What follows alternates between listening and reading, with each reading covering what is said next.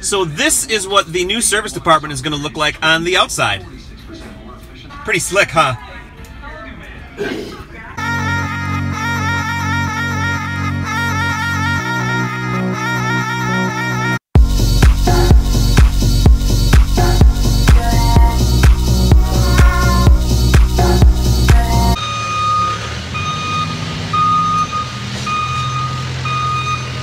Vlog number six. This is going to be another quick update. Everything is changing really, really fast.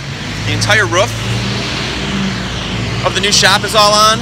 They're building even more walls. Uh, we're not going to bore you with more time lapses today. We've got the drone and we're going to go up and take a look.